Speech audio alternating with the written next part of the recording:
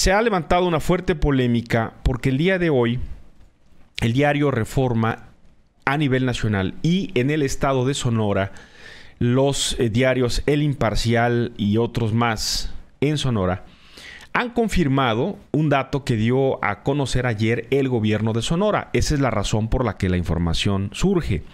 ¿Qué confirmó el gobierno de Sonora?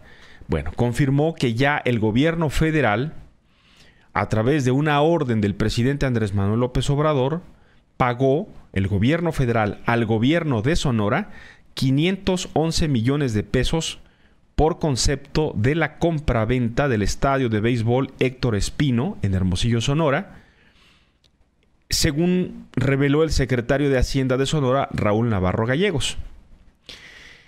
Ayer la Secretaría de Hacienda de Sonora informa pues que Banobras realizó el pago del estadio y que el dinero sería destinado para pensiones del ISTESON, o sea, del ISTE en Sonora, también una parte del dinero iba a dar a seguridad pública, infraestructura hospitalaria y materiales médicos.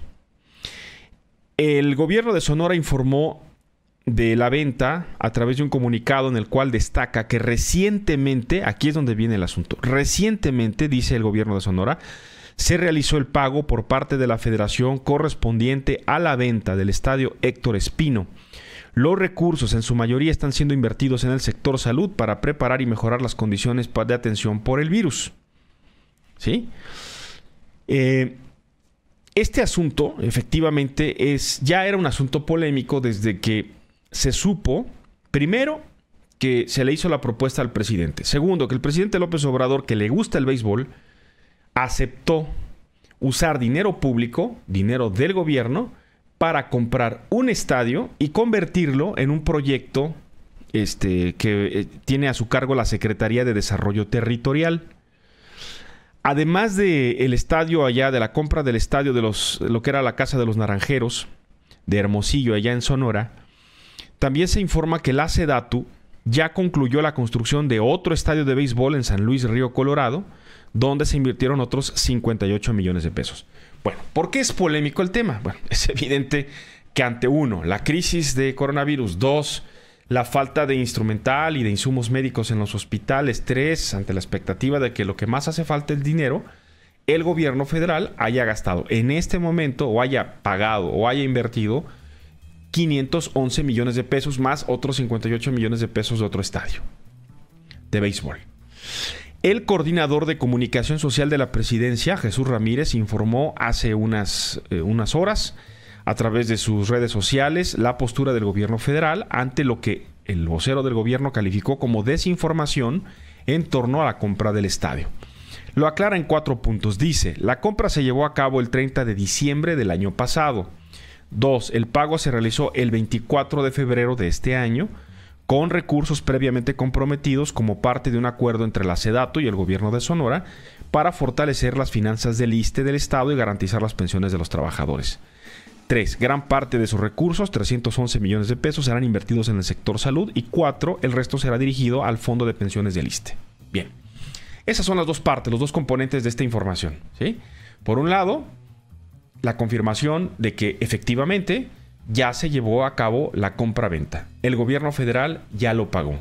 Dos, y lo comento porque no han faltado los insultos y las agresiones de quienes, pues, este, se adelantan, ¿no? En cuanto ven una crítica, se adelantan, inmediatamente ofenden y no se informan. Este, lo que estaban cuestionando algunos es que estábamos difundiendo información falsa. Porque, porque lo publicó Reforma. No, a ver, lo publicó Reforma y otros medios en Sonora producto de un comunicado que dio a conocer el gobierno de Sonora, la Secretaría de Hacienda de Sonora para ser más específico.